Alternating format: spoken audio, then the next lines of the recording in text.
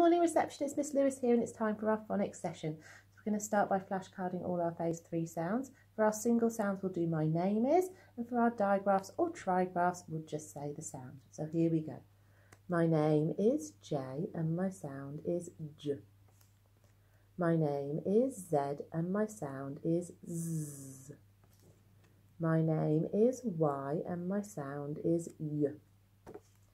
My name is V and my sound is V. My name is W and my sound is W. My name is X and my sound is X. E, U or U. O, Sh, Qu, Z. v, a, ng, er, I, and back to j. Well done. Now we're going to learn a new sound today, and our new sound today is or. Here it is, it's a digraph, and it's the letters O and the letter R that stick together like glue that make the sound or. Can you have a go at that with me? Or. One more time. Or. Fantastic. Now I'm going to sound out some words and I want you to blend them back together and say them back to me. Okay, I've got some on my board to help us, but we'll talk about those in a minute. So your first word is, let's sound it out, listen carefully, k or n, corn. Well done. Let's have a go at another one. Listen carefully and blend it back together. F, ork, Brilliant job. Now let's have a go at reading some words with the or sound in it. I've got some on my pieces of paper and we'll do it all together. Here we go.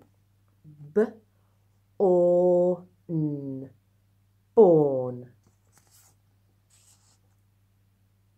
Sh, or, t, short. or n, torn. Fantastic, well done, that was super reading. Now you can see on my board I've got lots and lots of or words. I would like you today to see if you can make me a poster.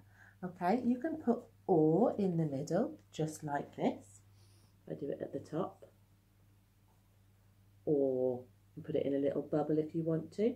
And then I'd like you to draw some pictures around it with some things that have the or sound in it. Now to give you a bit of a helping hand, I've written some or words on my board. So uh, we've got k or n, corn, like sweet corn or the hen pecks the corn. F ork, fork, as in a knife and fork. I eat my dinner with a knife and fork. K ork, cork find a cork in the top of a bottle sometimes. Sh, ought, short. He was short and I was tall. P, ork, pork. I like to eat roast pork on a Sunday. Pork. So can you have a go at making a nice little poster for me? You can draw lots of pictures and see if you can have a go at writing some words with or. You can pause the video so you've got these words to help you and a grown up will help you read them if you need to. And have a go at sounding them out. When you're done, press play again and we'll have a go at writing a sentence all together, okay? So I'm going to rub off my board and you can make your poster and then when you press play, we'll be ready to go. So now we're going to have a go at writing a sentence. Now, your sentence today is The chick pecks the corn. Let's say it together. The chick pecks the corn. One more time. The chick pecks the corn. It's five words. So let's say it one more time and make sure we have all the words in our head. The chick pecks the corn. Well done. Now you can pause and have a go at writing that on your own if you want to, or if you want to do it with me, that's fine too. Okay, so I can see that our, here that our first word is the, tricky word the. T-H-E spells the. Now I need to remember that at the beginning of my sentence I need to have a capital letter. So I'm going to have a go first. I need to do my capital T. T H E. T H E spells the. The. Now my next word is the chick. I'm going to sound it out carefully so I hear all the sounds. Ch, I, k, chick, chick. So I need a finger space between my words and I'm going to have a go at writing chick. First of all, I need my ch digraph. The C and the H together make the ch sound. The ch, I, ch, I, k, chick, now on the end, it's the CK digraph in chick. If you had to go by yourself and you got it wrong, don't worry, just rub it out or put a line through and have another go. It doesn't matter. Ch, ick. There it is, I've got the CK, the chick pecks. Now I'm going to sound it out.